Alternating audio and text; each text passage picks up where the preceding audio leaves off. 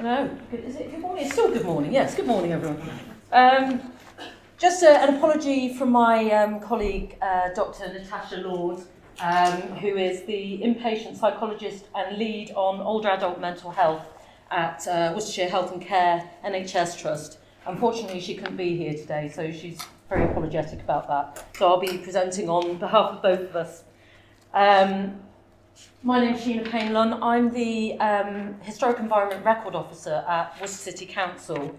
Um, I thought I'd start off, so Worcester Life Stories is um, all about sort of reminiscence, memory and people's stories. So I thought I'd tell you a little bit about our story first. Uh, so this is uh, myself and Tash, uh, trying to look vaguely professional, uh, standing outside the Guildhall in Worcester, uh, pointing a poster for our uh, public event that we ran last summer. Um, we go back a long way. We met at Sixth Form College. Here's us on a boozy night out. Um, literally car uh, cardigans and everything. But we'll go back to professional stuff because uh, that's better, isn't it? Uh, she won't thank me for that. Um, so um, I managed the Historic Environment Record, um, and a few years ago um, we acquired a huge collection of historic photographs, um, around about 40,000 of them. So our um, planning colleagues and our conserv conservation colleagues had collected these um, from 1951 onwards. A very large proportion of them are uh, from a survey in 1951, so they've got great potential for use for the public. And they were sat in the office in a great big um, um, sort of filing cabinet. They were being used by the conservation officers on a daily basis because they're a great resource, um, stored by, street by street, so they're searchable. Um, but we had an issue because we were moving office. So very thankfully, our uh, development management um, uh, service manager uh, gave us the money to digitise them. So we've now got this wealth of four terabytes of these historic photos sitting on our server. Um, And obviously, I'm very aware of the potential of these for public engagement. Uh, we are using them for building conservation and um, day-to-day -day use, but um, you know, there's obviously a much greater use for them. Um, so I'm sitting at my desk one day, and Tash phones me up, and I think, oh, great, we're going out for some wine. But no, no, she wanted me for work-related things. Uh, and she, working with older adults, was very interested in uh, whether we had any resources that we could use for reminiscence work. Um, one of the things that's very um, sort of very recognised technique within um, um, older adult mental health, dementia, um, and those sorts of things is life story work, which is all about bringing together um, sort of memory triggers for people that are potentially living with um, poor memory, dementia, um, or low mood in their in their older adult years. Um, so we started getting excited and we started cooking up this, um, this project uh, to involving the, this uh, resource. Um, so our idea was that what we wanted to do initially is just get this collection online for the very first time, uh, make it accessible to the general public, um, possibly um, using a sort of um, a model like um, Bristol's life, um, Bristol's Know Your Place. Uh, so it would be geographically and thematically searchable, but then also it's got the potential for other data sets to be added at a later date.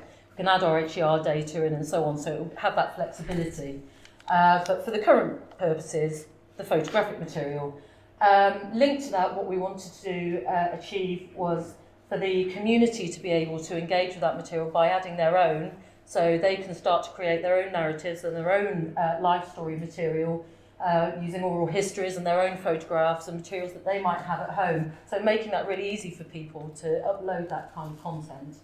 Uh, and then work with uh, a variety of partners, service users, um, to develop uh, the online Worcester Life Stories Toolkit for reminiscence therapy. Um, so that would be an add-on to that, that, um, web, that platform, that website, so you can suck out the material that is relevant to you and download your own um, life story in an automated way. Um, life story uh, software is currently quite an expense for the NHS. It's a really expensive product that um, uh, to get hold of. Um, and actually having that ready-made um, sort of copyright-free material that you can access that can be used for reminiscence is something that's quite hard to get hold of. Um, so moving on from that, we wanted to develop a series of model workshops for use with the various partners in the project and other professionals and groups so that they can um, sort of use best practice to get this material out um, for people uh, partly living with dementia, but I'll come on to the other people that we want to uh, focus on. Uh, so we want to engage with, as I said, people living with dementia, not just older adults, but uh, people living with young onset dementia, which is um, uh, quite a problem uh, for people. Uh, they're carers, because uh, obviously there's a huge impact on um, the well-being and mental health of the carers of people uh, living with dementia. Um, people in the community that are at risk of loneliness. Now, I've found out all sorts of quite alarming statistics about people that are isolated in their own homes as part of this project. Um, the studies suggest that people living with loneliness, the impact of loneliness has the same impact as smoking 15 cigarettes a day which is really quite frightening. So, you know, sort of getting to people that are isolated in their own homes is actually quite a, a really worthwhile thing to be doing. And then, of course, the, the wider community, not just through events, but also um, by engaging them with um, the process of getting that material online, um, volunteering, uh, digitising, adding um, commentary and comments to the material. Um, We've been developing a number of partnerships as we've been going along. So a uh, key one for us that we're really keen to pursue is the Institute of Dementia Studies at the University of Worcester as research partners. And they've been really um, enthusiastic about this project. They um, uh, helped us set up our initial uh, public consultation event, which I'll come on to in a bit. Uh, and yeah, they're, they're going to be a great partner for us, so we really want to make sure that we keep them involved. Uh, Age UK Reconnections Project, that's our inroad really um, to people um, living at home, um, isolated at home. Uh, it's a project to connect people with, with services and with projects that will integrate them back in, into groups in society or find ways of connecting them to other people. So, you know, they stand a chance of actually reforming friendships and that kind of thing. Uh, Worcestershire Association of Carers have been very engaged with the project. Um, the, you know, a huge number of people that are providing care in an official or an unofficial capacity for friends and relatives. Um, Fortis Living, social housing provider, um, they've been really positive. Uh, they've got an engagement officer who has um, spent a lot of time working with us. Uh, um, They, they obviously provide um, social housing for older adults, um, sheltered accommodation and that kind of thing. Um, and they, they're also very um, sort of um, mobilised with um, digital enablement, which is another strand that we want to be um, looking at as part of the project. Uh, Connection Point, we've been working with them, an early onset dementia group, um, which we talked about earlier. Alzheimer's Society, they um, run their um, monthly OUTSCAF, as they get um, older adults together um, from the community and share memories and, and have a cup of tea and nice slice of cake and it's a really nice place for people to come together and get support from services.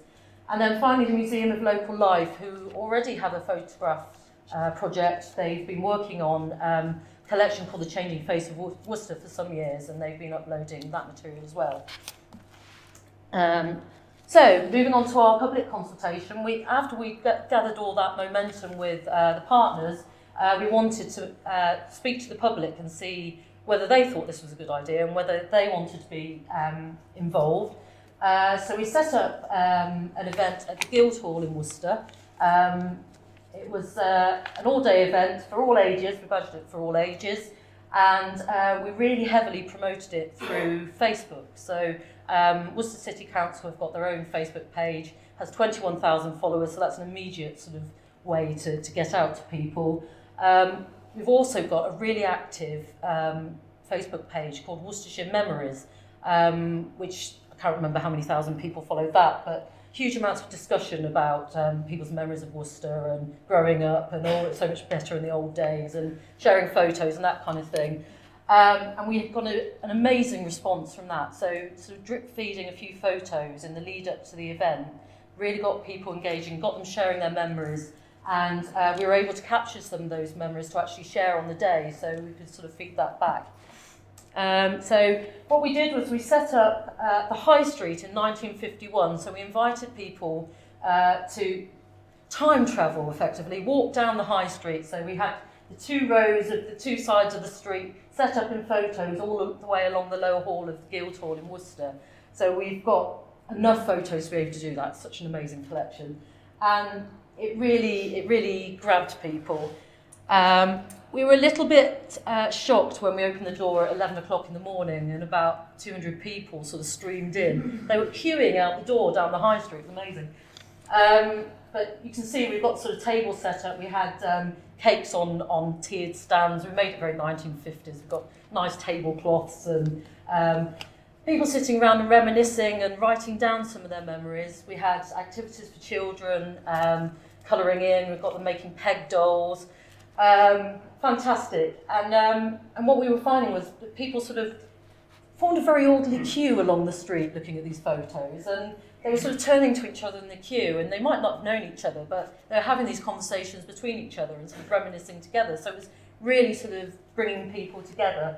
Um, yeah, over the course of the day, we had we didn't we lost count at a thousand people, so it completely overwhelmed us, to be honest. But some of the nice things, um, there's some members of the public that have brought in things to show us. So this gentleman on the right brought in some photos of the old power station in Worcester that's now been demolished. And the ladies on the left there have been to see the Beatles at uh, the old bingo hall in, in Worcester. So you know, a few nice things to come immediately. Uh, and then we also captured people's memories on, on these, uh, some memories and some thoughts about the project on these consultation boards. So that's all the fun stuff. Um, I thought I'd really sort of talk about some of the challenges that we faced in sort of pulling this project together. So do excuse me if I refer to my notes because I kind of want to get it right, really. Um, obviously, we all have the issue of uh, uh, the challenges of time delivering this kind of project and delivering community archaeology and heritage um, to our, our um, wider audiences. So it really is an issue for us all. Um, but the biggest challenge of developing a project of this is that front loading of time before you can even get to the stage of applying for funding. Developing a project with multiple partners takes a considerable amount of time and effort and energy, and unless you have adequate time to devote within your existing work schedule, then it becomes impossible. Many of us juggle multiple roles alongside uh, already alongside multiple ongoing projects. So where do we find the time for project development? Another issue is funding, uh, particularly multifaceted projects like ours. So one of the challenges that we face with this one when seeking the funding is the fact that it straddles heritage and health, as well as digital enablement, and a strong desire to evidence the benefits of this approach through sound research in partnership with the university, which comes at a cost. It has been remarkably difficult to encompass all of these elements via a single funding stream, and therefore enabling this project to happen has become very complex. Um, making the project tangible and keeping a focus on it is also quite a challenge. Uh, many partners have many differing agendas, even if these differences are only slight. Everyone you talk to wants to get something slightly different from the project, and this can stretch the focus of the project if you're not careful. You've got to hold on to your original purpose. Our partners all do fantastic work, and the key for us has been to link in with that, rather than allow it to steer us in a different direction, unless that direction proves to be the right one, of course. It's a case of being open to open other, uh, open to other ideas and opportunities, whilst being clear about what you ultimately hope to achieve. Um, keeping the momentum going can be a challenge too. If your project development is having to take place alongside the day job, then it can take a long time to get moving, and keeping the momentum can be really tough. It's a challenge to hold on to the interest of your partners, and if you've had any public consultation, the public too. That final push to get funding in place takes some considerable effort, and holding on to your enthusiasm is critical. Of course, there are rewards. Uh, we've been privileged to work with some fantastic partners uh, as part of the development of this project, all of them doing incredible work in the community. They're all extremely passionate and have shown great enthusiasm, enthusiasm for what we're proposing you can't help but be inspired when you're working alongside, alongside these people that really care as much as they do.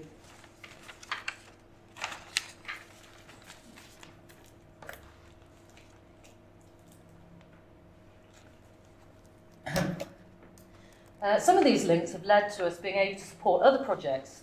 Uh, for instance, Fortis Living have been doing some of their own reminiscence work with, uh, with the tenants, and we've been able to provide source material and local knowledge. We've also given talks and workshops already to the Alps CAF and the Con Connection Point Young Onset Dementia Group um, as part of the development of the project. This in itself has been extremely rewarding, seeing people light up with recognition at their local corner shop in the 1950s or the local bobby on the beat. Response via social media has been overwhelming. Commentary on photographs that we posted on the Worcestershire Memories Facebook page in the lead up to the public event are still being commented on now, 10, 10 months down the line, and people realising that they know each other from years ago and sharing stories, so it just keeps sort of, you know, keeps building. Um, a photo quiz that we posted received more than 2,000 responses over a 48 hour period. It's amazing to see the public so engaged with their heritage. Our public event was just fantastic. As I said, more than a thousand people through the doors and such an amazing buzz. Everyone sort of chatting to each other. Everyone from a tiny baby to a 90, 99 year old lady with her 70 year old daughter were there. So, a bit of reflection. Um, the experience of this particular project and the stumbling blocks that we faced, coupled with a focus on mental health and well-being, has led us to some interesting reflection on the whole process of developing community projects and the impact that this can have on us as professionals. I'm going to tackle this from my perspective as a public sector archaeologist, um, with a lot of questions and perhaps playing devil's advocate a little. First of all, there are huge rewards for partnership with local groups and the community, especially when we are seeing those groups and individuals engage with their heritage and value it. As community archaeologists, most of us, I think, do this because we're passionate about it, in delivering archaeology and heritage to and with the public because it's the right thing to do. We should be doing it, but we also need to be careful not to become casualties of our own enthusiasm. This especially in a political climate where culture and heritage certainly appear to be undervalued. A-level archaeology, anyone? Sometimes it feels that we break ourselves to see things through, all the while hitting our heads against a three foot thick wall of so what? How do we maintain our enthusiasm in the face of that? How often does cynicism and disillusionment replace our desire to explore and share heritage?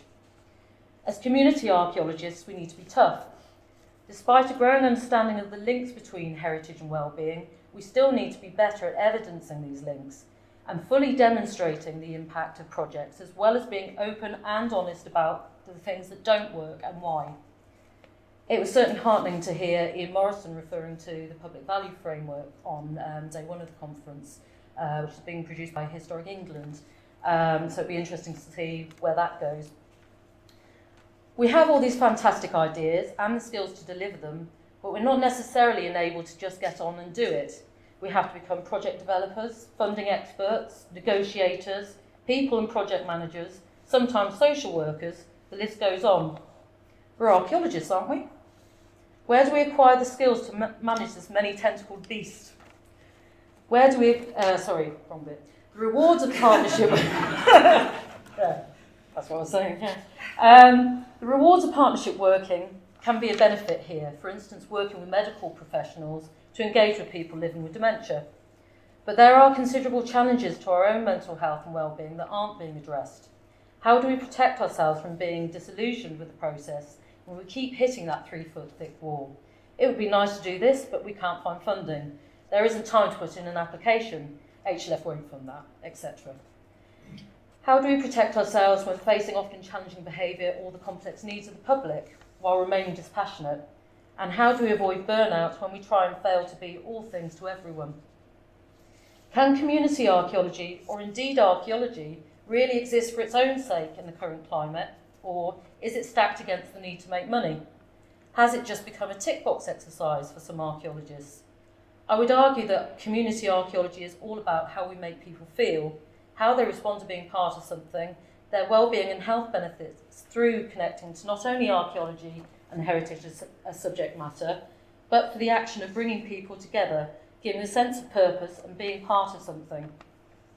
If this is the reason for what we're doing, then why are we not focusing more attention on collecting proper met metrics and data and proving the value of community archaeology, making the links between monetary value um, sorry, making the links between the subject matter as a delivery vehicle and health, and subsequently on the monetary value of improving well-being through community engagement. Make the case for better funding and recognition of the heritage sector. Embed core funding in community archaeology and be a have-to-have service and not just nice to have. So, yeah, okay. So, now that I've depressed you all, I thought I'd leave you with a nice picture of a horse to really make you smile as you leave. Um, but I'd finally like to say that after all those mu musings, uh, myself and my colleague Tash have experienced some real highs and lows over the last couple of years. And I personally have had a period of time uh, signed off with stress and low mood. Uh, so you can draw your own conclusions from that. Um, but as of today, our funding bid is currently pending. Thank you. Thank you.